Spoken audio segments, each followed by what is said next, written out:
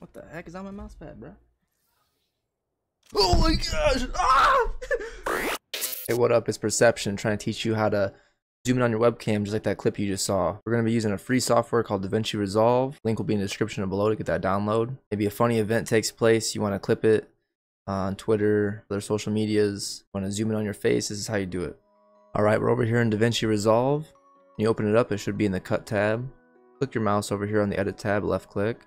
Locate your file, your video file you want to edit. Here's mine. Just drag it and drop it. I'm going to ask if you'd like to change a frame rate because the timeline's in 24 frames, but this clip itself is 60 frames. Just click don't change. I'll just scroll by left clicking and holding down on this red thing to clip over more. This part down here. Find the part that you'd like to zoom in on the webcam on. This clip, I was scared by a bug, and I just want to zoom in uh, to see my reaction more clearly. This is the part where I was scared. This is where I want to zoom in. Oh my gosh! Ah!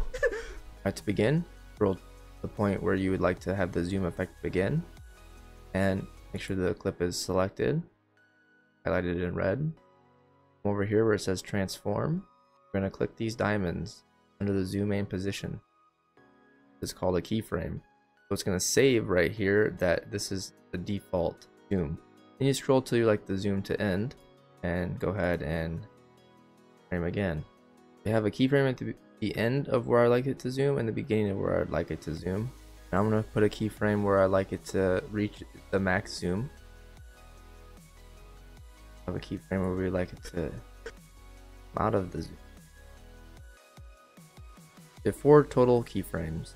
The zoom will start, the zoom will reach its full zoom, the zoom will end its full zoom, the zoom will fully go back to normal. Now we have this red line lined up with where this keyframe is at. If you move your red line, you notice the red has gone away because we're no longer at where the keyframe is located. Use your arrow keys to go one frame at a time until you find it. And this is where we'll go ahead and change the zoom. We'll go 1.5. The zoom, X and Y are linked. We'll move the position over to the left.